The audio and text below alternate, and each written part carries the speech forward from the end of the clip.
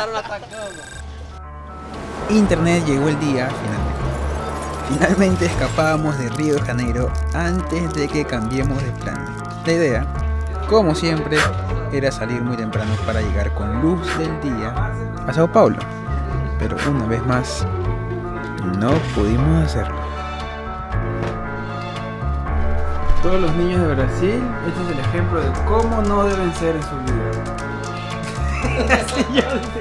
Primero, yo, Henry, tuve mucha culpa en esta parte porque tuve que volver a Lapa, al centro de Río de Janeiro, a recoger mi botella de agua que olvidé. Y luego nos pusimos a jugar Play con Saul. Estábamos aprovechando todas las comodidades de una casa normal, porque no sabemos o no sabíamos cuándo las tendremos nuevamente.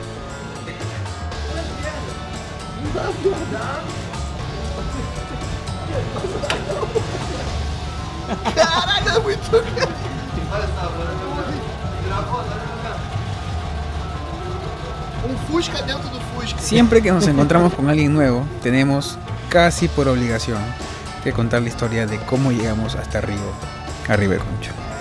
Y la hemos contado tantas veces, tantas veces, que hasta le hemos agregado ficción para hacerla un poco más increíble. Así nos divertimos un poco repitiendo la misma historia millones de veces. Puta que! Pasaron. Que no cree que hemos aprendido a manejar en el camino, le digo, en Arequipa. Vea. Irmão. Aparece, volta mais. Quando você voltar, vou estar magrinho. Acredite! Acredite! Não é não, não é não, não é possível não. Isso aqui é muito sexy. É calma sexual. Y ahora nuestro único problema era. ¿Cómo carajo metemos una persona más en un espacio tan pequeño? Así que iba a ser una aventura bastante, bastante interesante. Eres de Lego, ¿eh? ¿Tú eres, tú eres un Lego. Vas a sacar las piernas. Tetris, Tetris, Tetris, Tetris. Para dormir. Las piernas, ¿cómo vas a sacar las piernas? ¿Estás bien ahí? Se va a cambiar No, le digo para que tenga más comodidad él, pues, para que no se sienta.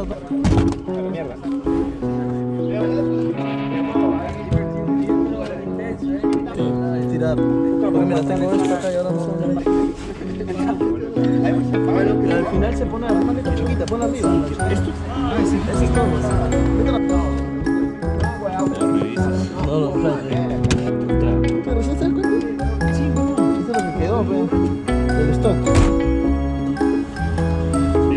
Problema casi resuelto.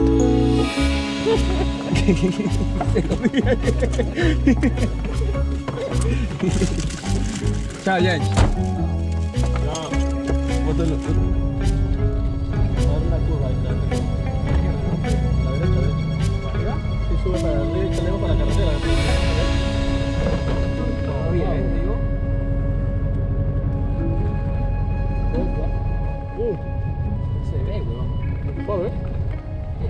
Eran 360 kilómetros hasta Sao Paulo.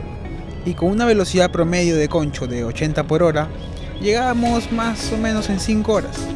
Pero como las carreteras de Brasil son muy bonitas y buenas, y para no reventar a concho, nosotros íbamos un poquito más despacio. Así que era una hora más, póngale 6 horas. Y si le sumamos la hora de almuerzo, ya se hacen 7 horas. Así que nuestro cálculo del día siempre le sumamos 2 horas más como margen de error. Y hasta ahora nos ha funcionado bastante bien.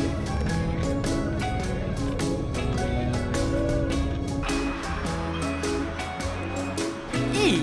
¡Hola! ¿Cómo está? ¿Qué dice? Vamos. Más caro que esto. Vamos, pero habrá algo más por allá. Sí, hay un montón, un montón de cosas. Estamos con hambre, seguimos para comprar pan, pero está muy caro.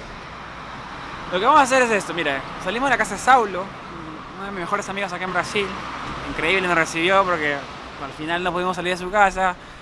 Vamos a dormir una noche con un amigo nuevo que ya lo vieron ya, Dieguito, que está acá nos acompaña. Parece que hasta Perú, no sabemos hasta dónde, hasta donde se sienta cómodo porque el espacio es reducido, pero bueno, el corazón es grande, así que si quiere venir con nosotros, mejor para nosotros. Eh, ¿Se acabó? Diego, ven para que te presente. Y ahora vamos a Sao Paulo hoy día para ver el tema del auto, que ahí un, un chico nos contactó para que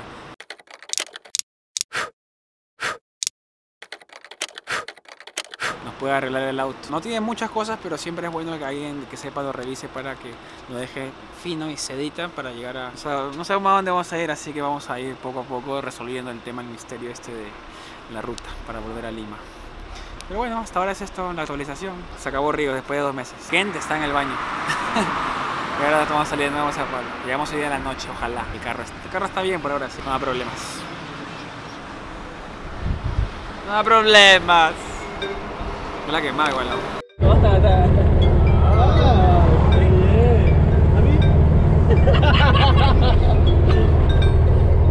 ¿La cabrón?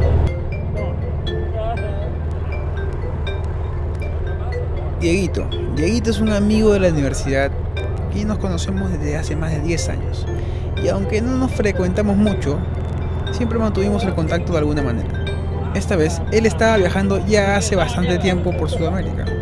Y entre sus planes estaba volver a Perú de la manera más barata posible. Su plan encajaba perfectamente con el nuestro.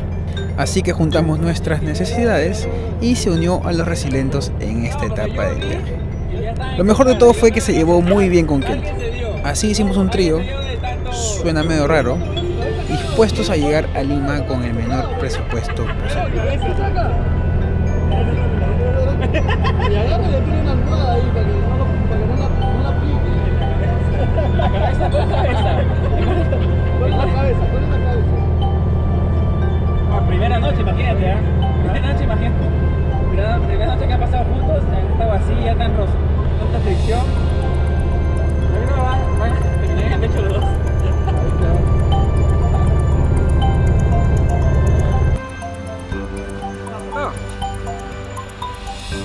Volvimos a la vida de pan con atún. Muchachos, ¿cómo está el pan con Muito bom, muito bom. Extrañaba un poquito, ¿eh? de verdad. No vamos a llegar a Sao Paulo con luz del día, pero ya tenemos luces en el carro, así que podemos llegar más tarde.